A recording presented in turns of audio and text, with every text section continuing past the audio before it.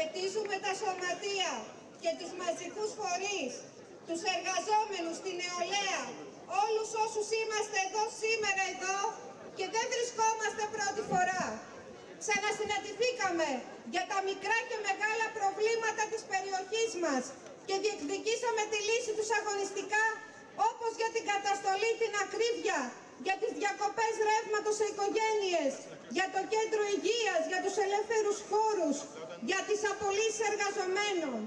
Είμαστε σε επαγρύπνηση και θα ξαναβρεθούμε εδώ σύντομα για να αποτρέψουμε την απαράδεκτη απόφαση να παραχωρηθεί ο χώρος της Εριοντέξ στο Περισσό στους, στους πρώην ιδιοκτήτες και να μην χτιστεί σχολείο. Εδώ και μέρες προετοιμαστήκαμε για το συλλαλητήριο καταδίκης του φασισμού και πήραμε αποφάσεις δεκάδες σωματεία και φορείς της περιοχής για να αποτραπεί η σύναξη των φασιστών στο Νέο Ηράκλειο. Καταδικάσαμε την ίδια την κυβέρνηση που μαζί με τις δημοτικές αρχές τους κάνουν πλάτες, αφήνοντάς τους να δρούν ανενόχλητοι.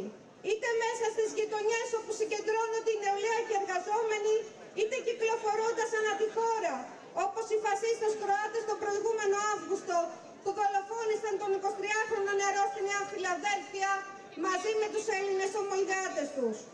Δέκα χρόνια τώρα δεν ξεφόριασαν από τη μνήμη μας τα εγκλήματα της Χρυσής Αυγής και πάλι ενάντια στο φασισμό συνεχίζεται σε κάθε γειτονιά, σε κάθε χώρο δουλειάς.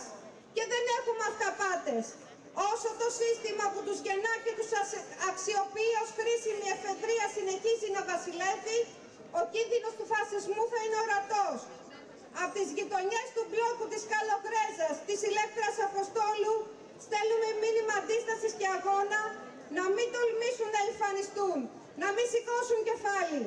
Μαζί με τα σωματεία, τους εργαζόμενους, δίπλα στον καθημερινό αγώνα για τη ζωή μας, για δουλειά με δικαιώματα, για την υγεία του λαού, για τη μόρφωση των μαθητών μας, θα παλεύουμε για το φασισμό και την αντιλαγή πολιτική της κυβέρνησης. Καταγγέλουμε τον πρόσφατο τραυματισμό της νεαρής που συμμετείχε σε αντιφασιστική συναυλία. Δεν είναι η πρώτη φορά που οι αστυνομικές δυνάμεις λειτουργώντας έξω από κάθε πλαίσιο νόμων και κανονισμών κακοποιούν και τραυματίζουν διαδηλωτές. Ζητάμε και, και σήμερα από εδώ να αποδοθεί τιμωρία στους υπεύθυνους ώστε να μην συγκαλυφθεί η προσπάθεια για τη δημιουργία κλίματος τρομοκρατίας και εκφοβισμού. Σήμερα, με τη μεγαλειώδη συγκέντρωσή μας, απαντάμε στην καταστολή, στην, στην κυβερνητική συγκάλυψη των φασιστών και στη συντονισμένη προσπάθεια κυβέρνησης και μαζικών μέσων ενημέρωσης να αποκρύψουν το αποτρόπαιο έγκλημα που συμβαίνει στη λωρίδα της Γάζας.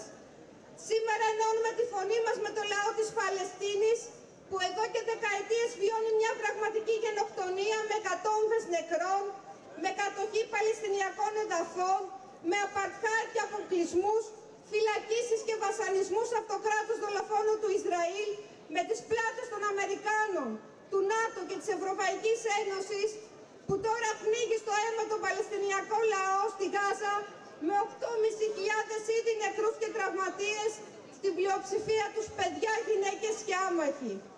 Καταγγέλουμε την ελληνική κυβέρνηση που στηρίζει το κράτος του Ισραήλ, δείχνοντας την ανοχή της με το λεγόμενο δικαίωμά του στην αυτοάμυνα, είτε στέλνοντας τη φρεγάτα ψαρά, είτε παραχωρώντας βάσεις, επιλέγοντας για τα συμφέροντα της αστικής τάξης να εμπλέξει όλο και πιο βαθιά την Ελλάδα στα εμπεριαλιστικά σχέδια.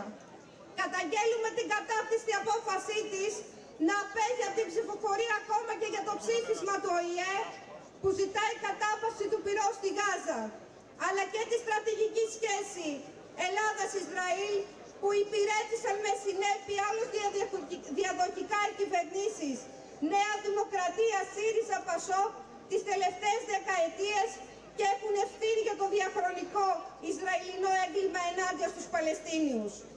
Αυτή η στάση είναι σε πλήρη διάσταση με την αλληλεγγύη που εκφράζει ο λαός της χώρας μας και συγκρούεται με το δίκαιο αγώνα των Παλαιστινίων ενάντια στην κατοχή, με το δικαίωμά τους να έχουν πατρίδα. Φέρνει ακόμα πιο κοντά την άμεση εμπλοκή της χώρας σε μια γενική, γενικευμένη σύραξη με ανυπολόγιστες συνέπειες για το λαό.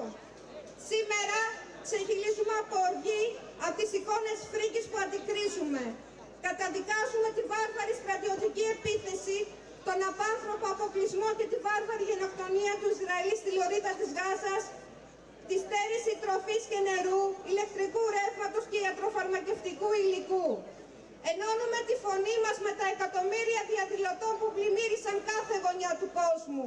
Από τη Νέα Υόρκη μέχρι το Λονδίνο και το Παρίσι παρά τις απαγορεύσεις. Ακόμα και μέχρι το Ισραήλ.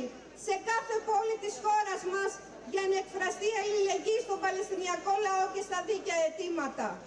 Εμείς, οι δασκάλες και οι δάσκαλοι των παιδιών, έχουμε ευθύνη απέναντι στη νέα γενιά. Παλεύουμε να εφοδιάσουμε τους μαθητές μας με αξίες όπως η αλληλεγγύη, η συλλογικότητα, ο αγώνας για ένα καλύτερο μέλλον για το σύνολο του λαού. Μας πνίγει αδικία για την δολοφονία των μικρών παιδιών που ξετάφονται μέσα από τα ερήπια που ισοπαίδωσαν οι βόμβες, που δεν θα πάνε σχολείο, δεν θα παίξουν στις παιδικές χαρές, που δεν θα μεγαλώσουν έστω και σε αυτό το σκληρό κόσμο. Είναι εξοργιστικό να παρακολουθούμε τους γονείς να γράφουν τα ονόματα των παιδιών στο σώμα τους για να τα αναγνωρίσουν. Το ελάχιστο που μπορούμε να κάνουμε είναι να μιλήσουμε στους μαθητές μας λέγοντας την αλήθεια. Να αξιοποιήσουμε τη δράση που αποφάσισε ο σύλλογός μας Εφέρης, μια ζωγραφιά για την Παλαιστίνη, να σταθούμε στη σωστή πλευρά της ιστορίας. Να ενώσουμε τη φωνή μας ξανά σε κάθε γειτονιά, σε κάθε πόλη, με τους χιλιάδες εργαζόμενους. Σήμερα εδώ, την Κυριακή 5 Νοέμβρη στις 11 το πρωί στο Σύνταγμα και σε κάθε αγωνιστική κινητοποίηση. Είμαστε με το δίκαιο του λαού της Παλαιστίνης που διεκδικεί ελευθεριά για την πατρίδα του. Είμαστε με το δίκαιο των λαών για ειρήνη και θα κάνουμε ό,τι περνάει από το χέρι μας για να δυναμώσει η αλληλεγγύη.